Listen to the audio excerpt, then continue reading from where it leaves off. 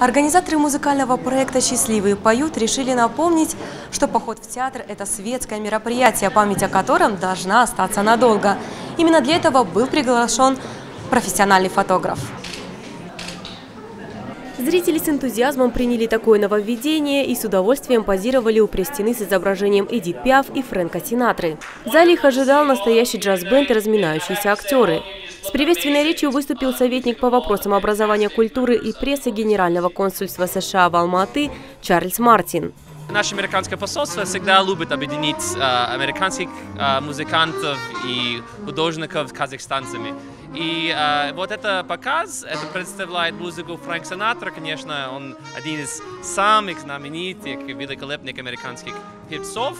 И через э, казахстанских актеров и певцов мы можем узнать его жизнь, услышать его музыку. В главных ролях Эдит Пиаф и Фрэнка Синатры выступили невероятно талантливые казахстанские актеры Айсулу Азимбаева и Чингис Капин. Самые яркие и неоднозначные моменты из жизни легендарных вокалистов актеры исполнили с невероятной экспрессией и самоотдачей.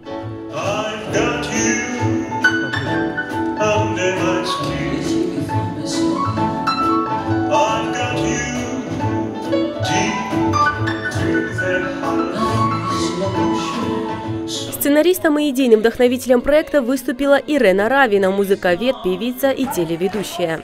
На самом деле а, э, этот спектакль рождался несколько раз, и каждый раз была как бы новая версия.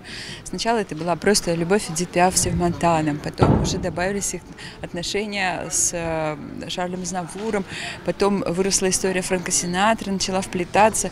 И, в общем, где-то пять лет вот постепенно кристаллизовалась вот эта как бы вот форма и продолжает, кстати.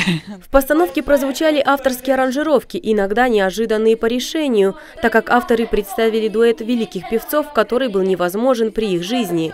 Вокальные партии исполнили казахстанские певцы Ирена Равина и Алексей Тимофеев.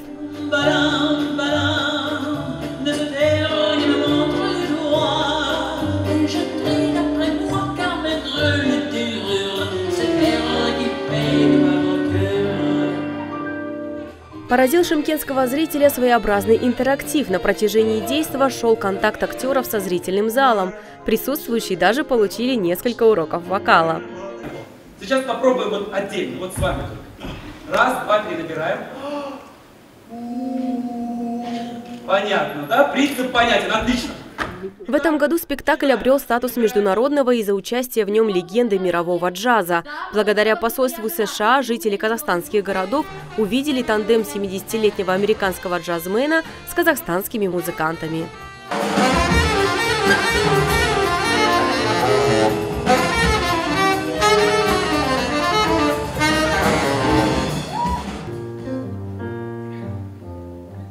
Иметь свой репертуар именно свой.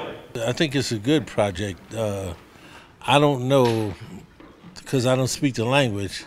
Я думаю, это отличный проект. Я не могу судить о диалогах актеров, о тексте, поскольку не понимаю языка. Я вижу, что все работают в ансамбле, дружно, но при этом сохраняя индивидуальность. И мне это очень нравится. Каждый спектакль отличается от предыдущего, нет рутины. Музыканты здесь просто фантастические, поэтому играть с ними было легко the same thing the same way every night.